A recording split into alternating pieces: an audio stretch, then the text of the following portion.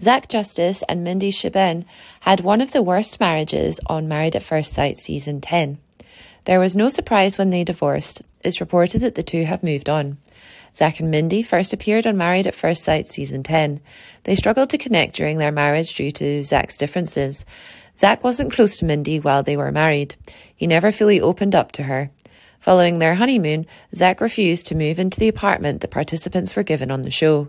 Zach continued to maintain distance from Mindy physically and emotionally.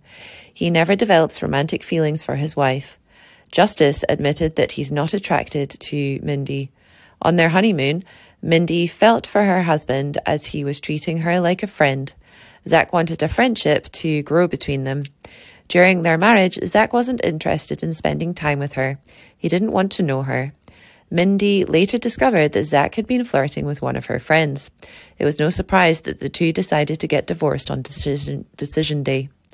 The MAFS former couple have moved on with their lives. Zach and Mindy's Instagrams hint that they have moved on from their marriage. Following their divorce, they have stayed away from the spotlight. Looking at their social media, they are living fascinating lives. Mindy has moved to Mexico after her divorce. During the time on Married at First Sight, she has spoken about her experience many times. She has some advice for her future participants on the show.